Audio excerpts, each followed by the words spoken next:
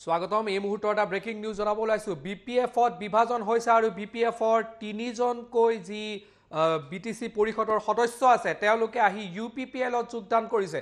এই মুহূৰ্তত আমি আপোনালোকক এই ব্ৰেকিং নিউজটো আগবঢ়াইছোঁ যে বি পি এফত হাগ্ৰামা মহিলাৰীৰ দলত বিভাজন আৰু বি পি এফত বৰ্তমান বিভাজন দেখা পোৱা গৈছে। এয়া বি টি চিৰ নিৰ্বাচন বি টি চিৰ এটা গুৰুত্বপূৰ্ণ বাতৰি আমি আপোনালোকক দি আছোঁ। বি পি এফত বিভাজন তিনি এম চি এল এৰ যোগদান ইউ পি পি এলত তিনি এম চি এলে যোগদান কৰিছে। অমৰ বসুমতাৰী যোগদান ইউ পি পি এলত বি পি এফ ত্যাগ কৰি আহি ইউ পি পি এলত যোগদান। প্ৰভাত বসুমতাৰী আৰু ধনঞ্জয় বসুমতাৰীও যোগদান ইউ পি পি এলত বি টি চিৰ এটা গুৰুত্বপূৰ্ণ বাতৰি দি আছোঁ। প্ৰমোদ বড়োৰ উপস্থিতিত ইউ পি পি এলত যোগদান কৰে তিনিজনকৈ এম চি এল এই মুহূৰ্তৰ ব্ৰেকিং নিউজ আমি আপোনালোকক জনাইছোঁ আৰু এতিয়া পোনে পোনে প্ৰমোদ বড়োৰ যি সংবাদমেল আছে সেই সংবাদমেললৈ আপোনালোকক লৈ গৈছোঁ। কাউন্সিলত যাওক ৰাইজৰ কাম কৰক। কিন্তু তেখ- তেখেতসকলে হাগ্ৰামা মহিলাৰী ডাঙৰীয়াই ক'লে যে আমি মানে কাউন্সিলত নাযাওঁ যেতিয়ালৈকে চৰকাৰ গঠন কৰিব নোৱাৰে। সেইটোতো কথাই হ'ব নোৱাৰে। তো আপুনি পাঁচ বছৰৰ কাৰণে সেই অঞ্চলৰ ৰাইজক বঞ্চিত কৰি ৰাখিব নেকি? তো সেইকাৰণে আজি যিসকল সচেতন তেখেতসকলে ওলাই আহি আমাৰ দলত যোগদান কৰিছে আৰু বহুতো যোগদান কৰিব। আমি ৰাইজৰ কাম কৰিম। ধন্যবাদ।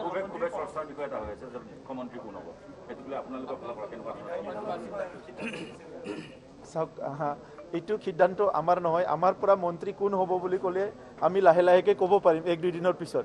কিন্তু মুখ্যমন্ত্ৰী কোন হ'ব বুলি ক'লে এইটো আপোনালোকে অলপ এটা ৰং এটা প্ৰশ্ন পোছা হ'ব সোধা হ'ব।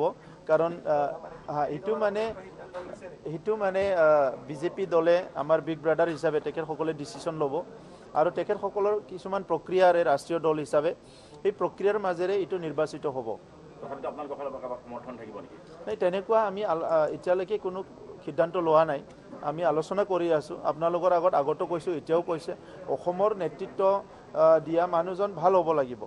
ভাল নেতৃত্ব দিব পৰা মানুহকে গোটাব লাগিব। গতিকে কেন্দ্ৰীয় নেতৃত্বই তেনেকুৱা মানুহকে দিব। হয়তো তেখেতসকলে প্ৰচিডিউৰটো ফ'ল' কৰি আছে।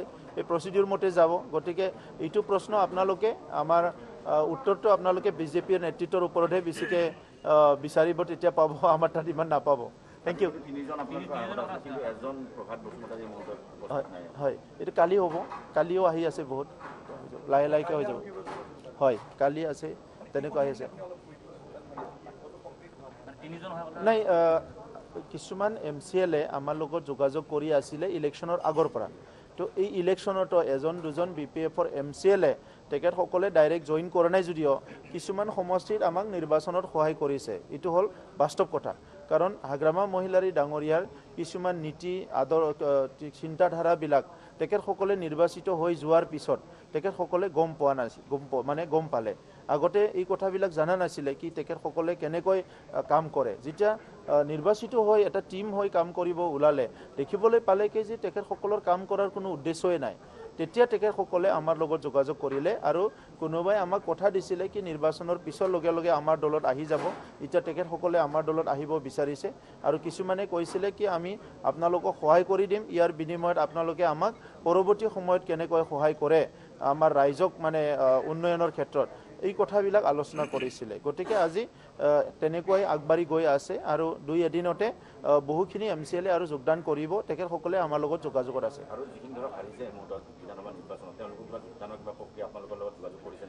কি কৈছে? নাই এতিয়ালৈকে আলোচনা কৰা নাই। তেখেতসকলৰ ভিতৰত যিসকলে চিনচিয়াৰলি ৰাইজৰ কাম কৰিব ওলাইছে বা বিচাৰে তেখেতসকলক আমাৰ দলত লোৱাৰ কোনো অসুবিধা নাই। কিন্তু ইয়াত যিয়ে নহওক কিয় ৰাইজৰ প্ৰতি এটা কমিটমেণ্ট থাকিব লাগিব দায়বদ্ধতা থাকিব লাগিব। এনে হাৱাত ঘূৰি থকা মানুহবিলাকক আমি দলত ল'ব নিবিচাৰোঁ। যোনে ৰাইজৰ প্ৰতি দায়িত্ব আছে কাম কৰিব আহিছে তেখেতসকলক আমাৰ দলত যোগদান কৰাত কোনো অসুবিধা নাই। থেংক ইউ আৰু এই মুহূৰ্তৰ ব্ৰেকিং নিউজ আমি আপোনালোকক জনাই আছোঁ। তিনিজনকৈ M C L A U P P এলত যোগদান কৰিছে বি পি এফৰ আৰু পুনৰ বিভাজন দেখা পোৱা গৈছে। বিধানসভা নিৰ্বাচনৰ ফলাফল অহাৰ দুটা দিনৰ ভিতৰতেই।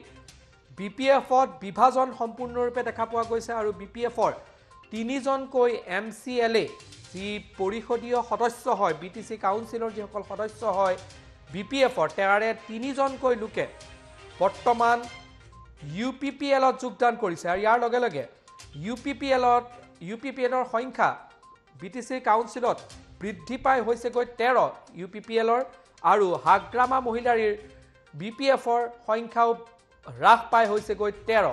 এই মুহূৰ্তত যদি চোৱা যায় তিনিজনকৈ নতুন সদস্যই যোগদান কৰিছে।